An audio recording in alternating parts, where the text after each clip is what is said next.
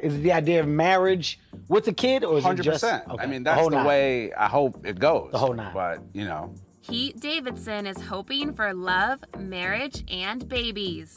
The Saturday Night Live alum is opening up about his dreams for the future on Peacock's Hart to Heart, revealing that he definitely wants to be a dad and tie the knot one day.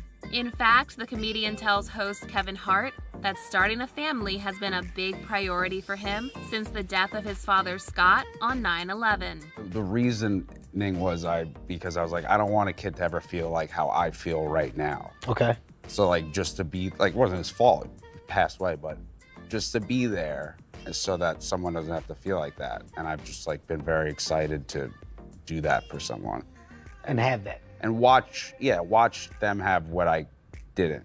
Pete has come close to marriage once before. He got engaged to Ariana Grande back in 2018, though the couple split just months later. He's now in a relationship with Kim Kardashian, which began after the two shared a smooch during her SNL hosting gig in October 2021.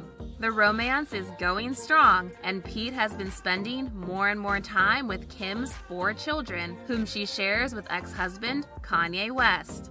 A source previously told E! News, Pete and Kim's relationship has become more serious, and she feels very comfortable allowing him to be around the kids.